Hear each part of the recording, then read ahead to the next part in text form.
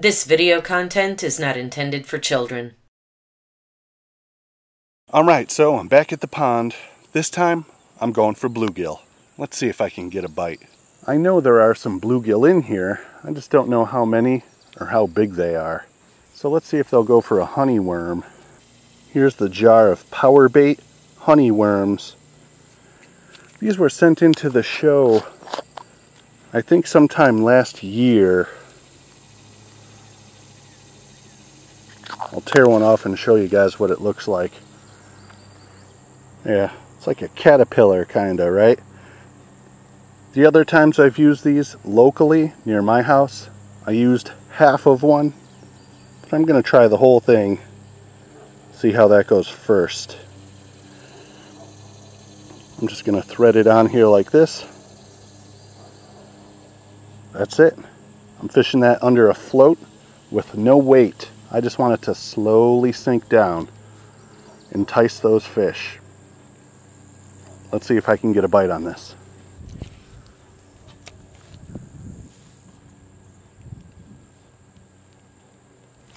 Got one. First cast, right away. Just a little guy, little bluegill here. Show him off in the sun.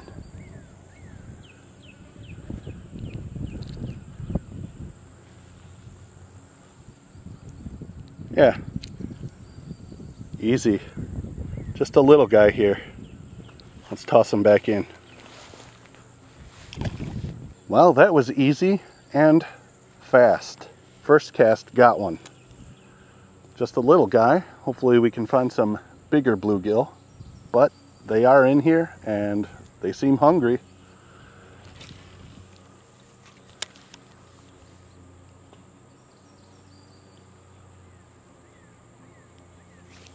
Had a little nibble there.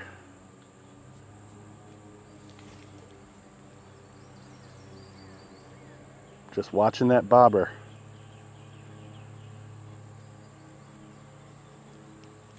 Got him. Just a little guy. Once again, tiny, tiny.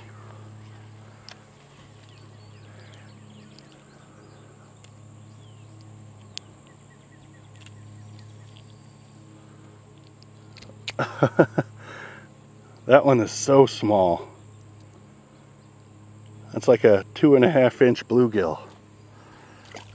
This would be a great place to come learn how to catch bluegill, or if you got kids and you're at this cabin hanging out, coming up here for some bluegill fishing. I can vouch for it already. I caught two fish in less than five minutes. I'm having a good time. Might even catch something bigger. Catfish, bass, hopefully some big bluegills. I don't know, we'll see. There's a bite. Do I got him? Oh my God, another tiny, tiny bluegill here.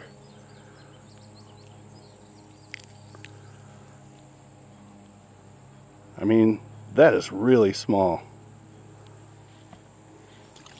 Let's walk down here, see if I can kind of cast parallel to the bank. See if I can find some bigger fish.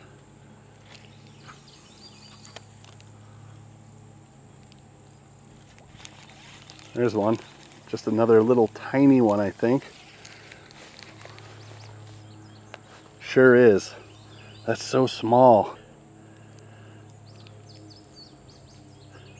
I don't think so. Hey guys, it's Ramir Malipena here in Chattanooga. You're watching Realistic Fishing. Keep it realistic. All right, now that I know they will go for it, I need to formulate a plan to find some larger bluegill. Do I try out there in the middle? Do I try over here in the shallow corner? What would you guys do? Maybe over there by that tree hanging in the water? I don't know. Let's toss one out to the middle and see if I get a bigger one out there. It's a little bit deeper. There might, ooh, I had a bite It's a little bit deeper, there might be some bigger fish out there. I don't know. This is like the second time I've been to this pond. I came here on a mini staycation a few months ago, there's a fish, just to check it out. And I had a good time, so I decided to come back.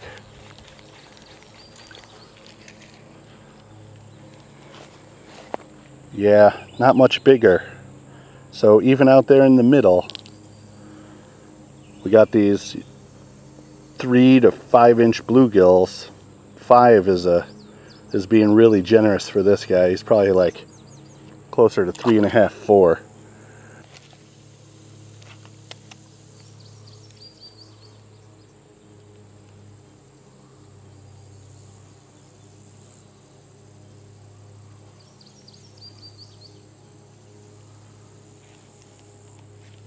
Fish?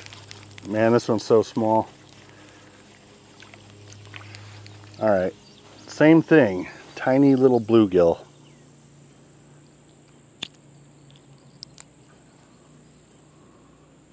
This one looks colorful. All right, we're gonna head down that way.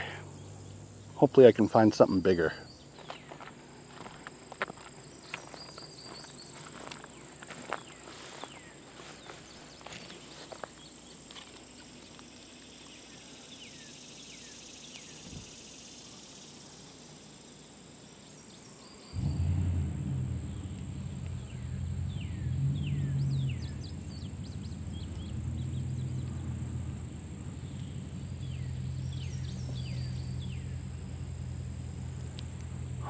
Not getting a ton of bites out here.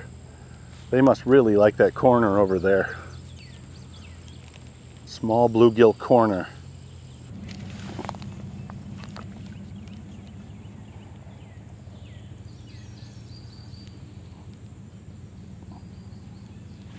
Ooh, nibble.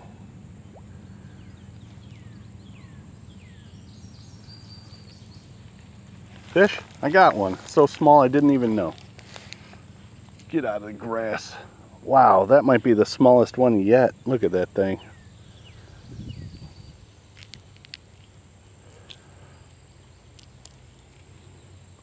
Look at this guy. It's like two inches. Let's keep moving.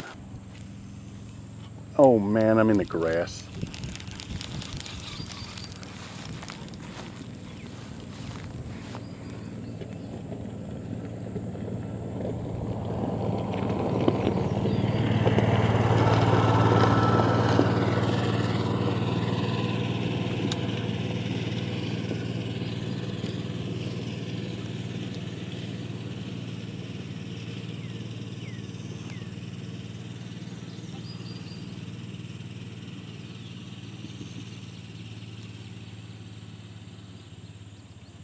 Fish? Oh, I had a nibble. There's one. Come on, stuck in the grass. Just a tiny guy. Don't get tangled up now.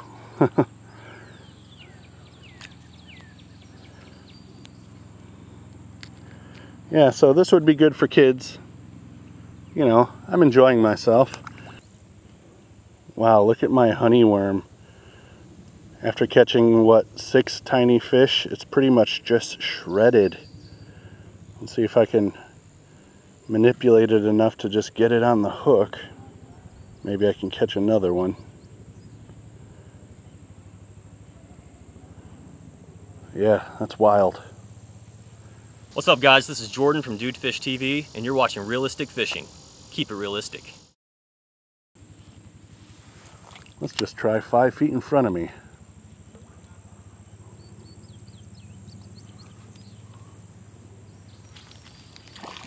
Fish. Slightly better. It's probably the biggest bluegill of the day, but that ain't saying much.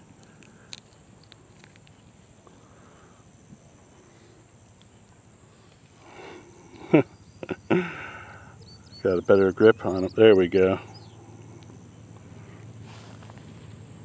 All right, well, let's keep heading this way. We're still on that quest to find some bigger bluegill. Or something. Fish. Another small fish.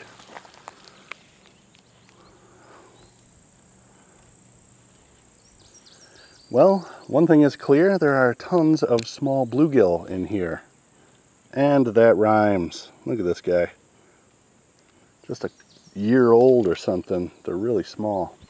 You know, if I was fishing for catfish bait or something like that, this would be awesome. I'd be all stocked up right now.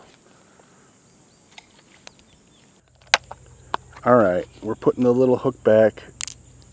I'm gonna put the bobber in my pocket. But what should we go with? Well, I got this topwater popper here. You ever fish for bluegill with one of these? I wonder if this could get any attention over here. Let's get it tied on. This says Johnson, right? This is some kind of small Johnson spoon. I got it from my trout and panfish box. I like to keep a small variety of spinners and spoons, little poppers, flies, grubs, trout magnets, this kind of thing. So yeah, here's what I'm going with small Johnson spoon.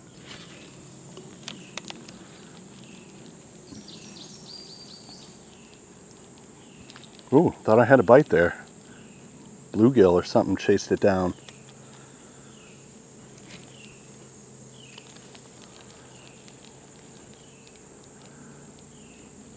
You know, this looks like a minnow. I might get a bass. Who knows what might go for this. Thought I just had another nibble. I might be getting some nibbles. That I'm catching the bottom.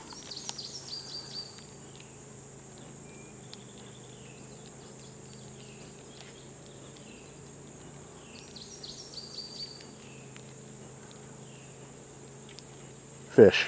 Fish. Hey, biggest bluegill of the evening right here. Changing it up, got me a bigger fish. It's not a huge bluegill by any means, but it's the biggest one of the evening. Yeah, five inch bluegill. Got him on this little spoon. Spoon fishing in a pond. It's pretty cool. What is going on, guys? I'm Rush. This is Little Miss Rowdy Ronda Rousey for Rush Forest Outdoors, and you're watching Realistic Fishing. Always keep it realistic. Now all I need's a bass. Fish. Oh, just the fish I was trying to get away from. This tiny bluegill hit the spoon. Is that wild? He must be hungry.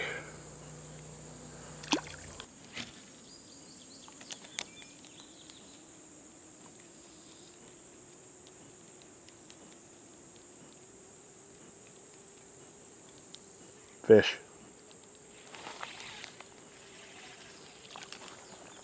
Another halfway decent bluegill, at least compared to what I have been catching.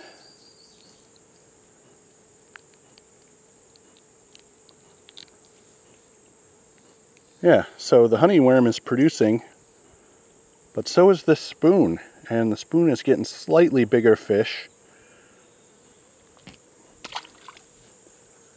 Nothing huge, but a little better. We're going to stick with the spoon for a while.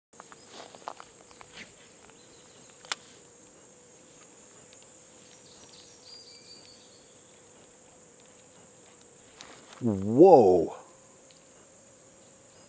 Was that a bass? What was that? Whoa! That was bananas. There's a fish. Another bluegill. Yeah, one of those slightly better four to five inch bluegill. My mind is still on that swipe. I thought something swiped at it. I thought I saw a big flash down there. Holy cow.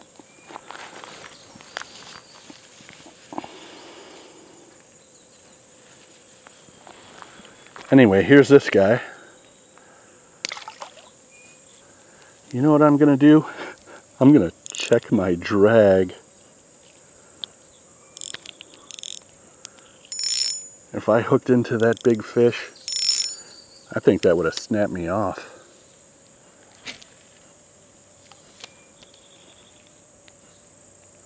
I got a loop on my line right here. I'm gonna try and walk that out. I don't like that. I don't like that.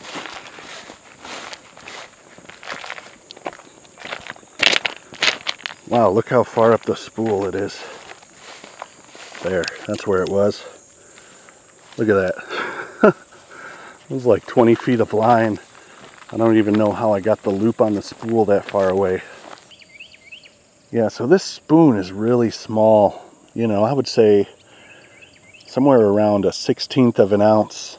It's not lead, right? It's just a really thin little piece of metal. So you gotta kind of, you gotta chuck it to get it out there. Can you hear the sound it makes when I cast?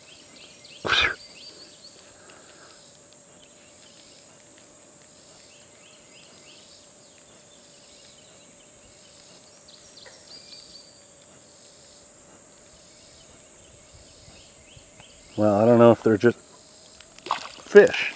Holy cow. I was just about to say. I don't know if they're tired of this bait or what. And then I got this. Now this is the biggest bluegill of the evening. This is a nice one here. Wow, he's hooked well too. Let's see if I can get this. There's one. There's two. There we go. Yeah, finally, this is what I came out here for. That's a nice bluegill right there. So we got about a six inch bluegill. Nice color. This is that more fully mature and adult bluegill here. You can see the color difference. Good looking fish. My name is Dewey Cash, and you're watching Realistic Fishing. Keep it realistic. Well, that was pretty awesome. I came out here to catch some bluegill, and I definitely did. I caught a bunch of them on the honeyworm, right? They were all pretty tiny. Then I switched to that small Johnson spoon. I got a hit from something real big, probably a bass, and I caught one six inch bluegill. The rest were pretty small. Anyway, thanks for watching Realistic Fishing. Keep it realistic.